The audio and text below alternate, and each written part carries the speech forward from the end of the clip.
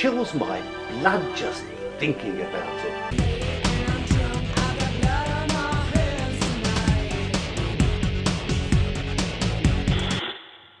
I don't know if you're aware why we're doing this. It might strike some of you as overly theatrical. Murders at a wedding. All a bit over the top. I want to make this very clear indeed. That bastard took my son. My boy. My Jacob. And by God, I will pay back! The problem is, I don't want to make just good films. I want to make great films. Oft I've been on the cusp of delivering a great script, been thrilled by its possibilities, only to realize a, a week or so later that it's a, a pile of shit. And of course, then there are the actors who actually expect to get paid for acting.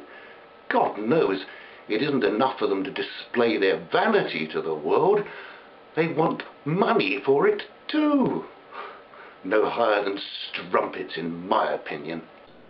Next second, some geezer who looks like he's just crawled out of an edge shouts out, What you doing jumping in a fucking queue? There is no fucking queue, I tells him. Next second, me sons Barney and Fitz walk in through the door. They've been parking up the car. Now, Fitz is a very big lad. He picks up this tit and carries him behind the counter, then lowers his arse into the deep fat fryer. Fucking hell! A scream of pain from this bastard, it could have shattered glass.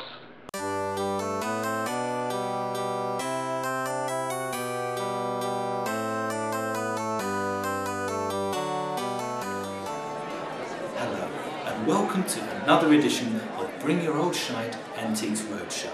Among the many interesting items brought to us for valuation, one of the most fascinating this week is here with its owner, waiting for us to reveal a bit about its history.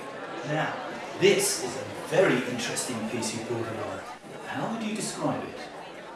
It's a tin of tomatoes. Exactly. Wonderful example, isn't it? Well, I was going to bin it, but luckily she stopped me at the last minute. She thought it had some value. No! We weren't sure which bin it should go in, recycling or general waste. I was going to ring the council on Monday to check.